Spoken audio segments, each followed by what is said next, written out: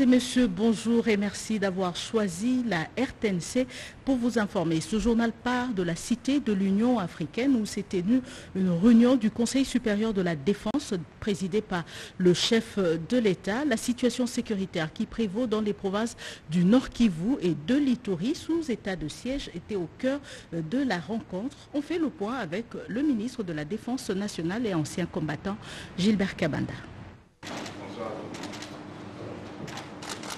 Le président de la République, chef de l'État et commandant suprême des forces armées de la République démocratique du Congo et de la police nationale congolaise, a tenu ce jeudi 3 février 2022 une réunion du Conseil supérieur de la défense dans la salle de réunion de la Cité de l'Union africaine. Un seul point était à l'ordre du jour. La situation sécuritaire du pays, spécialement dans la partie est du territoire national, sous état de siège, notamment en Ituri et au Nord Kivu. Il a particulièrement été question de l'évaluation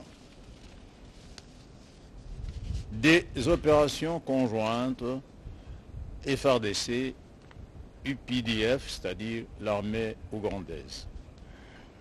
Des opérations conjointes FRDC MONUSCO et des opérations FRDC tout court. De la situation sécuritaire qui prévaut dans le moyen et haut plateau Ouvira, Fizi, au sud Kivu, de la situation préoccupante dans le Haut-Katanga avec la résurgence des Bakata Katanga à Mitwaba, de la situation des groupes armés dans le Tanganyika et enfin du banditisme et de la criminalité dans les zones urbaines. Je vous remercie.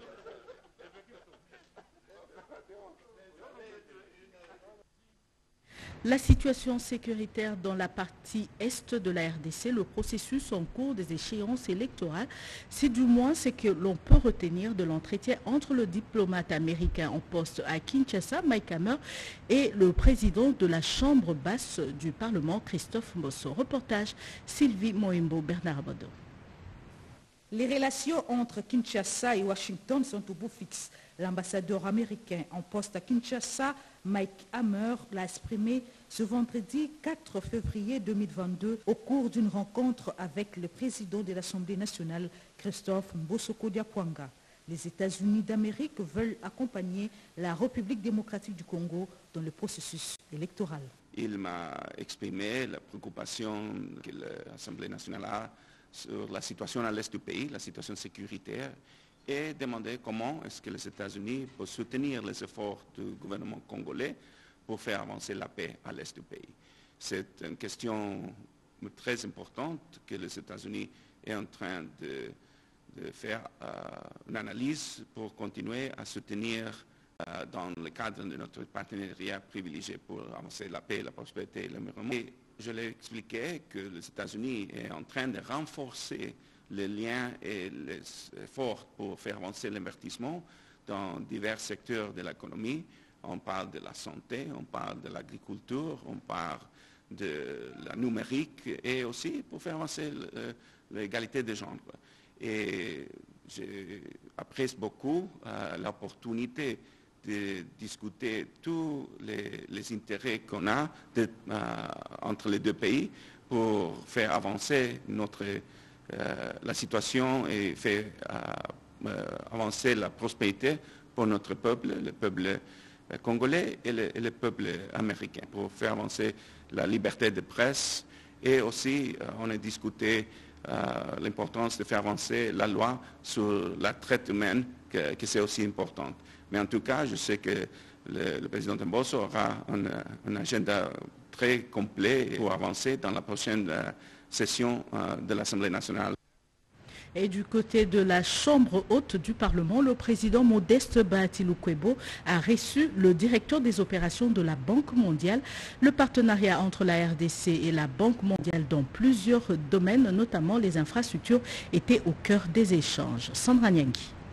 Le nouveau cadre de partenariat entre la Banque mondiale et la République démocratique du Congo a été au centre de l'audience que le président du Sénat, l'honorable Modeste Bahati Lukwebo, a accordé ce vendredi 4 février 2022 au directeur chargé des opérations et représentant de cette institution financière internationale à Kinshasa, M. Christophe Carré. À cette occasion, l'hôte du speaker de la Chambre haute du Parlement congolais a réaffirmé l'engagement de la Banque mondiale de revoir à la hausse son enveloppe dans le cadre de son partenariat avec la République démocratique du Congo. Cette enveloppe sera de 1 milliard de dollars américains par an, soit le triple de ce que la RDC recevait par an.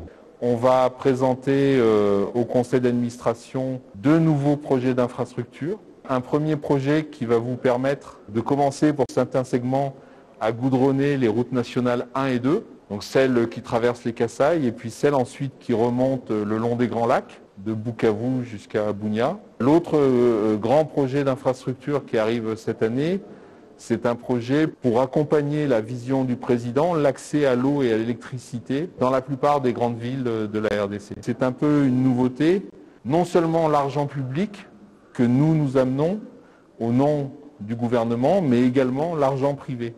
Donc de mettre en place des partenariats publics-privés. Le président du Sénat a rassuré le représentant de cette banque sur la détermination du chef de l'État, Félix Antoine Tshisekedi Chilombo, à améliorer les conditions de vie de la population en menant des actions à la base avec le programme de développement des 145 territoires du pays. Modeste Bahati Lukwebo a plaidé pour le renforcement des institutions de contrôle comme le Parlement, la Cour de comptes et l'inspection générale des finances. Le festival Amani, cet événement culturel pour célébrer la paix au nord euh, Kivu, s'est ouvert euh, hier vendredi au village IEC. Le ministre de la Communication et Médias séjourne déjà à Goma pour participer à ce festival. Reportage. Les porte-parole du gouvernement congolais, le ministre de la Communication et Médias, Patrick Mouyaya Katembwe, est arrivé à Goma ce vendredi pour participer au festival Amani, initiative qui marque la célébration de la paix à travers la culture dans la ville de Goma, a dit le ministre Patrick Mouyaya. Vous savez que Goma accueille le festival Amani et euh, je tenais euh, à venir personnellement, comme je fais souvent d'habitude, pour célébrer la paix et la culture et l'entrepreneuriat dans cette partie du pays. C'est particulier cette fois parce que je viens comme porte-parole du gouvernement. Donc ma présence ici marque aussi la participation du gouvernement à ces grands, événements culturels qui concourent au rayonnement de la ville de Goma. Qu'il faut euh, célébrer d'abord, c'est une initiative locale qui permet de réunir euh, les acteurs de tous bords et de célébrer la paix. Il est de notre devoir comme gouvernement d'accompagner les initiatives de jeunes. C'est pour ça que nous avons concouru dès le début à contribuer pour que ces jour arrive, vous savez que nous sommes dans un contexte d'état de siège, dans un contexte où euh, il y a la maladie, la Covid-19, mais il fallait au-delà de ça trouver un périmètre qui permette aux gens de célébrer la paix et la culture. Et c'est pourquoi nous venons euh, aussi, nous, assister à cette grande fête. C'est la paix la raison même du festival. Euh, il s'appelle Festival Amani. Et donc, c'est aussi la rencontre interculturelle de gens qui viennent d'à gauche à droite pour venir célébrer et partager euh, autour de la fraîcheur euh, de Goma. Je pense que c'est un moment que tout le monde devait utiliser pour profiter, pour euh, parler d'autre chose que de parler d'état de siège ou de Covid-19. L'ouverture de ce festival à Mani, c'est pour ce vendredi 4 février au village Iusi à. 48 heures après le drame de Matadi Kibala, le ministre de Ressources hydrauliques et électricité a donné un point de presse hier sur ces incidents. Olivier Mwenze Moukaling a annoncé un train de mesures du gouvernement. Reportage Marie Kalong, Oscar Balkaïch. Des pertes en vies humaines au marché de Matetskibala dans la matinée du mercredi 2 février 2022 et ce, suite à la rupture d'un câble sous tension de la Société nationale d'électricité. 48 heures après, le ministre des Ressources hydrauliques et électricité a tenu un point de presse pour éclairer l'opinion. Olivier Mwendimukaleng a tout d'abord exprimé sa compassion aux familles des victimes tout en déterminant les causes réelles de ce drame. Les populations vivent autour et en dessous des lignes de la SNEL. Il faudrait qu'on sache qu'en dehors du fait qu'on peut être électrocuté, il y a aussi des risques de santé. Il y a des risques euh, qui sont liés au champ magnétique qui est créé en dessous de ces lignes. Et pour répondre à la question de savoir où se situe la responsabilité de son ministère, Olivier Mundimkaleng a disséqué la part de chacun. Si on n'arrête pas cette façon de vivre où les gens peuvent occuper des espaces en dessous des lignes et ne pas être inquiétés, et tout le monde trouve ça tout à fait normal, on risque de revenir à un problème comme celui-ci. Donc euh, ma, proposition, c'est de créer cette commission pour qu'on puisse analyser ce problème, pour qu'on puisse faire un recensement de tous ces espaces qui ne doivent pas être occupés et puis qu'on prenne des décisions. Le président de la Commission électorale nationale indépendante, Denis Kadima Kazedi, a eu des échanges avec le directeur pays de Ossissa, Nikelebe. Au menu, la question liée au contenu et contraintes pour entrevoir des pistes de collaboration. Tétis Samba, Hervé Poudi ont signé son reportage. Ossissa, une organisation non gouvernementale dont l'objectif est de promouvoir l'émergence d'une société démocratique et respectueuse des droits de l'homme et pour une société civile dynamique. Ainsi, le numéro un de cette institution en République démocratique du Congo a échangé avec le président de la centrale électorale de Nikadima Kazadi ce vendredi 4 février au siège de la centrale électorale. Les deux hommes ont discuté sur le contenu et les contraintes que le président de la centrale électorale a évoquées lors de la présentation de la feuille de route et on trouvera également des pistes de collaboration entre les deux institutions. C'est le début de l'année, c'était l'occasion de présenter nos civilités euh, au président de la Commission électorale nationale indépendante et puis également de discuter sur différents aspects relatifs euh, au processus électoral.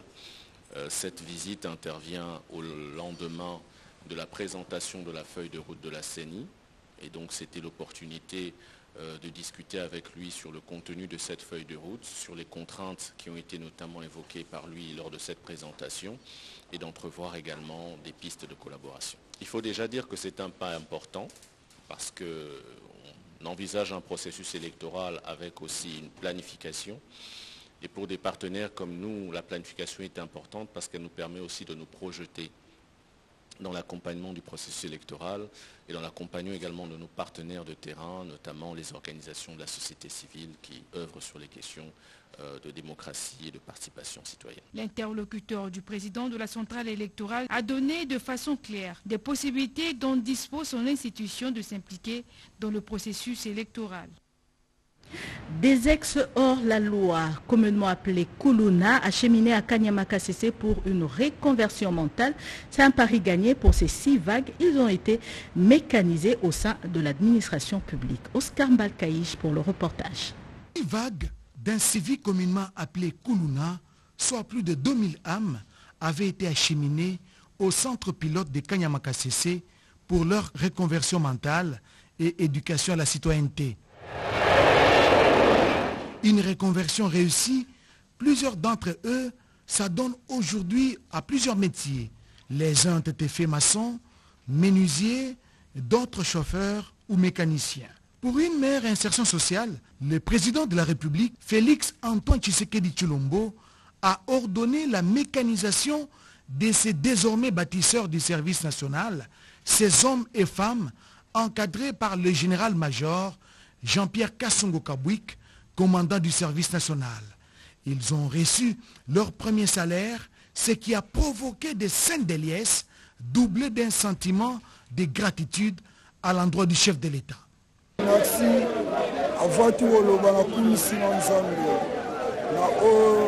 son excellence Fatih Beton Merci au président Fatih Beton pour tout ce qu'il a fait pour nous, pour la reconstruction du pays. Je suis très contente parce que je suis devenue salariée. Merci au général Kassongo. J'ai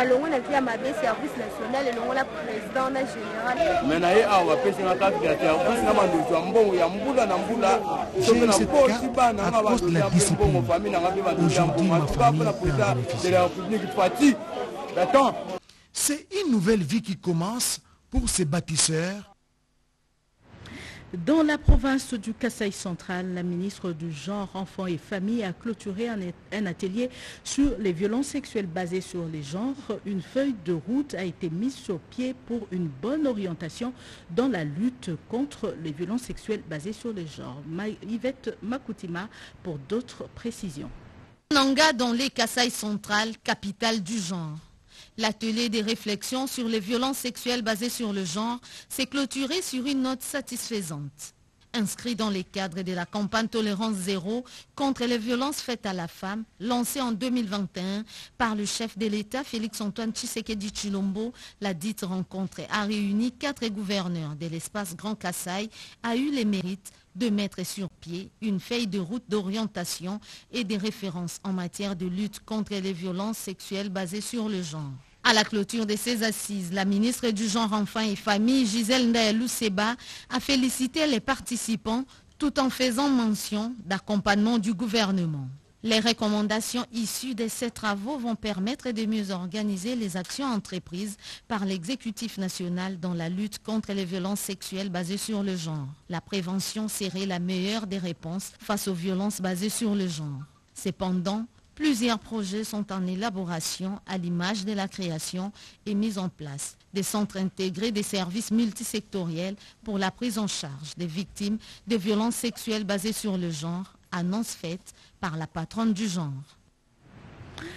Tenue du Conseil consultatif du bassin du Nil, on en parle dans ce journal, la RDC fait partie de pays ayant signé pour l'initiative du bassin du Nil et elle se présente toujours en pays solution, même en ce qui concerne la dégradation de l'environnement en termes de ressources en eau. Ramazani. Par son Excellence F. Bazaïbe Massoudi, vice-premier ministre et ministre de l'Environnement, la RDC assure pour cette année 2022 la présidence du Conseil des ministres des pays riverains du fleuve Nil. Elle préside également la présidence du Conseil consultatif technique de l'organisation. C'est dans cette optique que le Conseil technique consultatif s'est tenu ici à Kinshasa le 28 janvier dernier, Kempeski Hotel. En effet, la République démocratique du Congo fait partie des dix pays qui ont signé pour créer l'initiative du bassin Saint-Denis et sa branche d'investissement des programmes subsidiaires des lacs équatoriaux, NELSAP en sigle, c'était en 1999. Et actuellement, la RDC héberge un bureau satellite de NELSAP à Goma dans les Nord Kivu. Je vous rappelle que c'est au mois de juin et cela avait fait une très très agréable coïncidence, le 30 juin exactement 2021, que la République démocratique du Congo avait euh, succédé euh, à l'Éthiopie à ce poste. Pour soutenir les réalisations du projet euh, de la République démocratique du Congo, pays membre, est impérativement obligée à s'acquitter de ses contributions. Le directeur de cabinet qui représente son Excellence euh, Madame le vice-premier ministre vous en dira plus là-dessus sur l'état d'avancement des démarches. La RD Congo est un pays solution face au problème de la dégradation de l'environnement. Pour cette raison, elle doit être présente et active dans toutes les organisations La République islamique d'Iran se dit prête à accompagner la RDC dans le secteur de la pêche et l'élevage. Le ministre Adjemo Kelejima a échangé à ce sujet avec l'ambassadeur d'Iran en RDC. D'autres détails de cette rencontre avec Edi Chala. La coopération sur l'aquaculture et la lutte contre les maladies animales est désormais possible entre la République démocratique du Congo et la République islamique d'Iran. Le ministre de la Pêche et l'Élevage Adjemboukile Djema a échangé avec l'ambassadeur iranien en RDC qui s'est dit prêt à aider la RDC dans ce secteur. La République d'Iran disposant d'une expérience avérée dans la production des poissons de l'espèce truite, a ajouté que son pays est déjà prêt pour la coopération et n'attend que le go de la République démocratique du Congo à travers une invitation officielle. Animé par la détermination de faire de son secteur l'une des clés de la réussite du mandat du chef de l'État Félix Antoine Tshisekedi, le ministre Adrien Bokele s'est dit heureux d'avoir accueilli ses futurs partenaires et a exprimé la disponibilité de son ministère de collaborer dans un partenariat gagnant-gagnant afin que le bien-être des Congolais soit garanti. Clôture de l'atelier sur l'élaboration euh, des référentiels numériques. Les experts du numérique et ceux des autres secteurs publics ont élaboré cinq premiers livres de référence numérique. Reportage. C'est un grand pas de plus qui vient d'être franchi dans la régulation du secteur numérique en RDC. Au terme de ces travaux de deux jours, ces experts viennent de doter le pays de cinq premiers livres du référentiel numérique dans les secteurs publics. Il s'agit notamment du premier qui porte sur les bonnes pratiques numériques gouvernementales. Ce livre explique le professeur Désiré Kachmi Kolongele Eberand, ministre du numérique, présente les activités pouvant transformer les façons de travailler de l'administration publique en inculquant la pensée numérique et en veillant à l'intégralité d'une culture du numérique. Le deuxième s'attelle sur les directives numériques de l'État. Ces directives concernent les comportements à avoir pour mieux mener la transformation numérique au sein des administrations publiques. Le troisième porte sur le socle des logiciels de l'État. Il aborde les questions d'urbanisation des systèmes d'information de l'État, les principes de gestion de données propres à l'État congolais et les critères d'octroi des déploiements et des développements de logiciels. Le dernier va traiter du système de gestion numérique de données de l'État. Ce livre offre aux administrations publiques un support technique devant les aider à opérer le choix d'architecture des référentiels de données. Il définit les concepts de conception et uniformisation des architectures des données de l'État au sein de différentes administrations publiques. Ce nouveau document, qui vient de s'ajouter parmi tant d'autres, témoigne la ferme volonté du patron du numérique, Eberand Kolongele, d'engager la République démocratique du Congo sur la voie de la transformation numérique. Et c'est la fin de ce journal. Merci de l'avoir suivi. Ce journal a été réalisé par Ramadan Poki et Mamita Bangolou. La partie technique était assurée par Joseph Nzenzo, Emile Zola et Ruba Kumbu. Le prochain rendez-vous d'actualité, c'est tout à l'heure à 13h30 avec euh, Jojo Ndibou. Excellente suite de programme sur la RTNC.